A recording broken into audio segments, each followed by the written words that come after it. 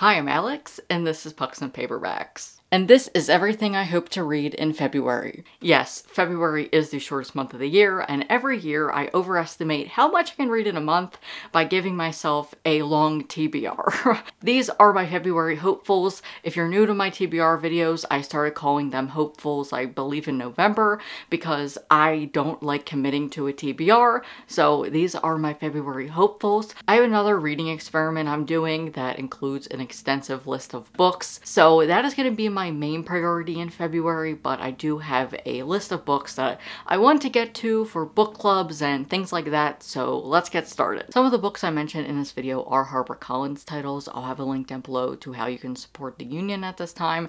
They are currently at the table, and I am hoping that we get a fair bargain soon because I cannot wait to share with you all of the great HarperCollins titles that I've read and want to read, so the link will be down below for you to follow the union and support them at this time, but I just wanted to let you know because a couple of the titles in this video are published by HarperCollins. In the US this month is Black History Month, so I am planning to read The Black Kids by Christina Hammond Reid, which works for the Pop Sugar Challenge, to read a book set in the decade you were born. I'm a 90s kid, and this is set in the 90s. This is set in 1992 Los Angeles. I was born in 1995. I was literally born in 1994. I have no idea why I said that and I'm so excited to get around to this. Highly Suspicious and Unfairly Cute by Talia Hibbert. It's her YA novel that just released in January, and I've heard nothing but great things about it, so I really want to pick this up. It's also the Heartbound book club pick for February. This is a book club run by my friend Alex Ang and her partner Brandon, and I participated in December reading Kiss Her Once for Me, and so I want to continue picking up some of the books that they are reading. I'm super excited to read this one, so it's definitely on my radar. And Leo's coming to join, I think. Another book I'd like to prioritize is Punching the Air by Ibi Zoboi and Yusef Salaam. This is about the Exonerated Five, and I've actually had it on my shelves for quite a while, so I really want to prioritize it this month. I know I shouldn't be using all the big books for the shortest month of the year, but we'll see what happens. That's why these are my hopefuls. They're not my TBR. It's just some of the books that I want to get to, but it's not me committing to an actual pile of books. This is a look into my brain because on the one hand, I want to have a plan of all the books I want to read, but then I think I'm secretly a mood reader. I want to have a plan and it's just a disaster. you're coming over. You want to come over here? No, you're not going to my bookshelf. No. No, this is a new shirt. Oh, you okay. Um. okay. Another book is The Field Guide to the North American Teenager by Ben Philippe. I believe this has some hockey in it and it's just a YA. And last is Happily Ever Afters by Elise Bryant. I've had this since it came out and I have yet to read it, so definitely want to get around to it this month.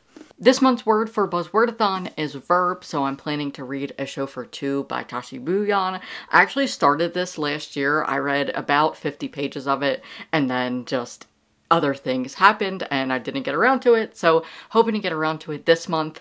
I know I'm being ambitious because this is the shortest month of the year, but this is just who I am. This talks about mental health. I believe specifically it's anxiety, and this is a celebrity romance about a girl who meets a celebrity who goes to her school, and the author wrote this inspired by Tom Holland attending her high school, and I cannot wait to read more of this because I really enjoyed what I read of it. February is the month for book releases, and if you want to know all of the books I'm anticipating, my video will be linked down below for you. I have a few arcs that I need to get to before the release date, including Always the Almost by Edward Underhill, which is a trans rom-com. A big thank you to Wednesday Books for sending me an e-galley. This One's For You by Katie Sweeney releases on February 7th. Thanks to Penguin Teen for an e-galley. This is a queer road trip book. It is blurbed as a gorgeous contemporary romance about two ex-friends, Cass and Sid, on a life-altering road trip following the reunion tour of the Darlas. The band Cass's mom was in. Perfect for fans of Mary H.K. Choi, Jandy Nelson, and Nina LaCour. I love road trip books and I have not read one in a few years, so I am super stoked for this one. Bang Bang Crash, memoir by Nic Brown, is out on February 21st. Thank you to Counterpoint Press for sending me a copy. I don't know who Nic Brown is, but I love memoirs about music, so I'm super excited to read this. It looks pretty short, so I'm definitely going to spend a weekend reading this one. Those are some of the books I hope to read in February. If you enjoyed this video, give it a thumbs up and let me know in the comments what you're looking forward to reading in February or if you don't make TBRs or hopefuls, let me know what you're currently reading. It really helps out the channel if you like and comment, so thanks if you do. And to hear all of my thoughts on queer and trans books, hit subscribe. According to my analytics, 40% of viewers do not subscribe, so if that's you, hit subscribe so you don't miss a video. Thanks so much for watching, and if you want to support my channel further, I do have a Patreon. The link is always down below and on my end card at the end of this video.